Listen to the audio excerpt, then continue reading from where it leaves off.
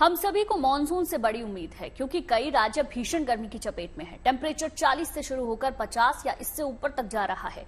इस दौरान प्रचंड गर्मी से ज़्यादा न सही, कुछ हद तक राहत दिलाने वाली तस्वीरें ज़रूर सामने आई हैं। कहीं गर्मी के प्रकोप से बचाने का जुगाड़ तैयार किया जा रहा है तो कहीं जंगली जानवरों को चिलचिलाती गर्मी से राहत दिलाने की कोशिशें जारी हैं।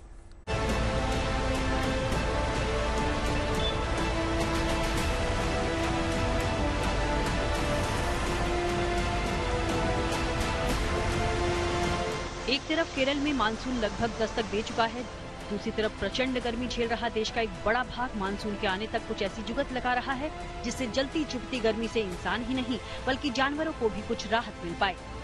तो चलिए मिशन बीट द हीट की कुछ तस्वीरें आपको दिखाते हैं।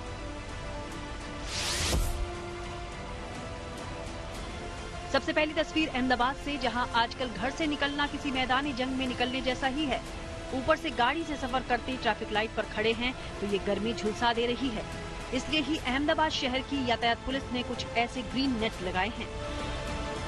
ऐसे जहाँ सिग्नल पे ज़्यादा खड़ा रहना पड़ता है और हीटवेव के कारण गर्मी में लोगों को बहुत परेशानी होती है तो हमने वो थोड़ा डॉम बना के वहाँ थो, थोड़े वो थोड़े ही समय के लिए पर उनको राहत मिले पब्लिक को ऐसा अहमदाबाद ट्रैफ़िक पुलिस ने सोचा था और ये हमारा जो प्रयोग था वो बहुत सक्सेस हुआ है।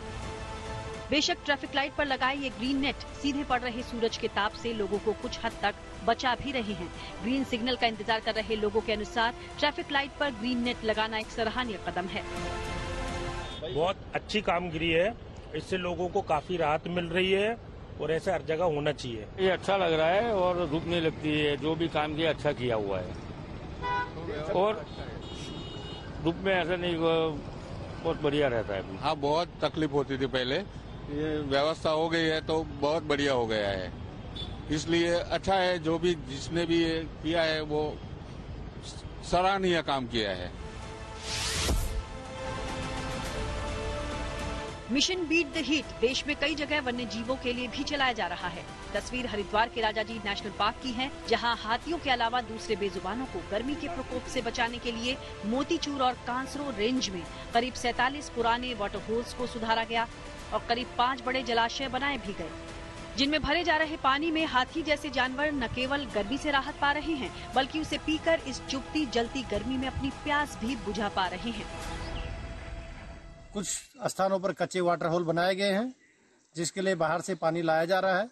जो पुराने वाटर होल, पक्के वाटर होल हैं, उन पर पानी, निरंतर पानी उनमें भी डाला जा रहा है, ताकि वन्य जीवों को पशु पक्षियों को पानी मिल सके। ऐसे क्षेत्र जहाँ पर हमारे पुराने पानी के सोर्स हैं, जल स्रोत हैं, उनका जीर्णोद्वार किया गया है। यूपी के कानपुर में तो 47 से 48 डिग्री तापमान लोगों को झुलसा रहा है। ऐसे में किदवाई नगर सब स्टेशन के अलावा कई कंजेस्टेड जगहों पर ट्रांसफार्मर में बिजली सप्लाई का लोड और गर्मी का अत्यधिक दबाव होने से खराबी आ रही है। यहाँ तपते ट्रांसफार्मर्स को बीच बीच में एग्जॉस्ट फ़ैन, कूलर और पानी की बौछार कर ठंडा किया जा रहा है। लगभग आधा दर्जन से ज़्यादा स्थानों पर ये स्थिति, जहाँ पर टेम्परेचर रेज हो रहा है, बढ़ रहा है, और हमें इसको कंट्रोल करना है सत्तर के आसपास, वहाँ पर स्थिर लगा है। जहाँ खुले में ट्रांसफार्मर लगे वहाँ पर ऐसी दिक्कत नहीं आ रही है।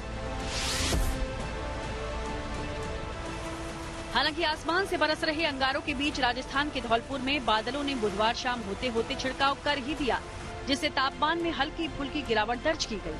यहाँ मंगलवार तक तापमान 48.6 डिग्री सेल्सियस था। पूरा धौलपुर ही भट्टी की तरह तप रहा था। कूलर, पंखे, एसी ने तो मानो इस चिलचिलाती गर्मी के आगे सरेंडर ही कर दिया। लेकिन बुधवार शाम तक गर्म हवा का रुख बदला।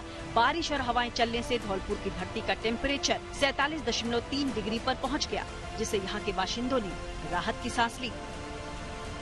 फ़िलहाल तो भीषण गर्मी से आजिज आए लोग। बेसब्री से मानसून की बाट जोह रहे हैं, जो केरल में लगभग पहुँच चुका है, लेकिन देश के उन तपते इलाकों तक मानसून पहुँचने में वक्त लगेगा। ऐसे में छिटपुट बारिश कुछ राहत दे सकती है, मगर इस बेतहाशा पड़ रही गर्मी और लू के थपेड़ों से बचाव का जुगाड़ ही एकमात्र बेहतर रास्ता है। हरिद्वार से मुदित अग्रवाल, कानपुर से रंजय सिंह और धौलपुर से उमेश मिश्रा के साथ bureau report, good news today.